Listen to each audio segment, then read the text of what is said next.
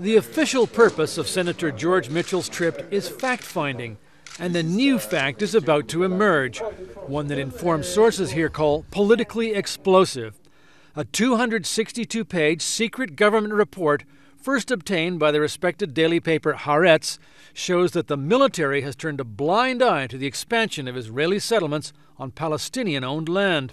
Under international law, the military is responsible for policing the occupied territories and safeguarding Palestinian rights, including land ownership. Eight years ago, Senator Mitchell recommended a freeze on new construction in the settlements. That became a key element in the Washington backed Roadmap to Peace. What's happening now is more like a roadblock. Israeli settlements are expanding at record speed, taking up more and more of the land that was supposed to become the Palestinian state one day. An Israeli human rights group that monitors the construction on a daily basis says it grew by 60% last year. Eventually, even if there will be a peace treaty with the Palestinians, it will be almost impossible to implement it on the ground.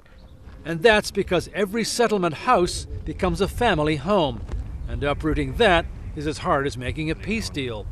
Allen Pizzey, CBS News on the West Bank.